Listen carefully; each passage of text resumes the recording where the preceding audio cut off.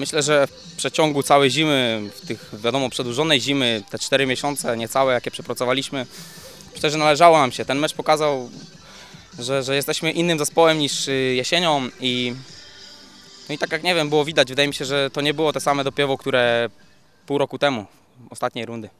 E, Ostrowia chciała narzucić swój styl, e, powoli ak- atakowała, e, wysoko pressing sta- stawiała, ale nie mogła, nie poradziła sobie z wami, graliście jak równy z równym z liderem, no i na końcu okazaliście się lepsi.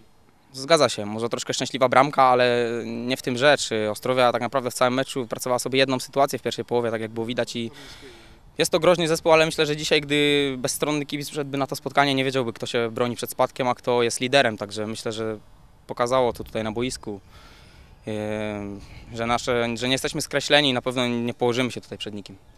Na początku drugiej połowy przymierzyłeś ładnie, prawie w okienku bramkarz wybronił, a później nie. E, Za drugim razem to był strzał, podanie, wrzutka. Strzał to był strzał, mamy, mieliśmy połowę z wiatrem, y, wiemy jak ta piłka się też zachowuje. Jest nierówno, zrobiła pewnie jakiś nieprzyjemny kozioł i, i wpadło. No, myślę, że dużo szczęścia, ale, ale to jest potrzebne. No, dzisiaj nam dopisało szczęście i cieszymy się, że mamy te trzy punkty. I zastrzyk energii, no atmosfera dobra w szatni, ale teraz będzie jeszcze, teraz będzie jeszcze Myślę, lepsza. że tak, myślę, że atmosfera dobra, sparingi pokazały, że, że to jesteśmy zorganizowanym zespołem, nie gramy jakiejś chaotycz, chaoty- chaotycznej piłki, może, może miejsce mamy takie jak mamy, ale myślę, że to będzie dobrze wyglądało i pokażemy w to w następnych spotkaniach.